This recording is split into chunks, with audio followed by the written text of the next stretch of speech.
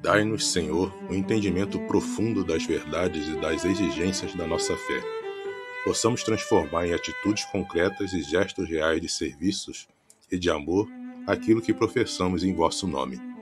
Por Cristo nosso Senhor. Amém. São Pascásio, rogai por nós.